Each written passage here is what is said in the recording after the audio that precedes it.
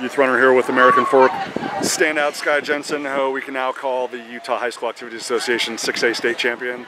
Skye, you've had you know the award ceremony, you've had the cool down or whatever. Uh, just what's what's foremost in your mind? What's what's what's in your heart right now? Uh, I mean, that was an absolutely just master class and just the maturity that you showed in the early part of that race. But just like where where's the joy and the gratitude coming from right now?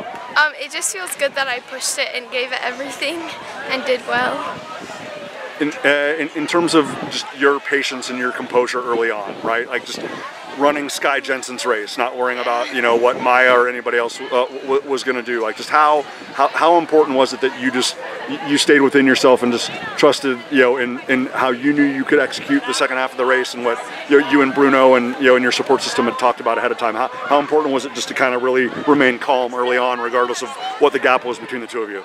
Um, just to make sure that I didn't go out too fast and just like kept calm so I could do well in the end and pick it up. how ex- I mean, obviously you've you know, raced at the, at the complex last year, but uh, you know this is a course that favors you. It favors the entire American Fork program. Like Yeah. when you got into mile two and mile three, like you, were were you excited? You know, I mean, obviously.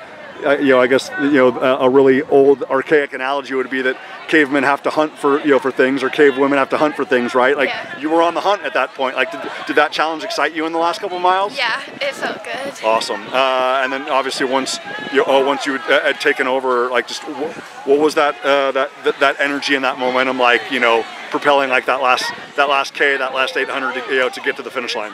Um, just that I could do it. Most definitely. Yeah. When when I had the blessing of speaking with you, you know, back at uh, at, Timpanogos, uh, I mean, obviously, you know, you were, you know, very much.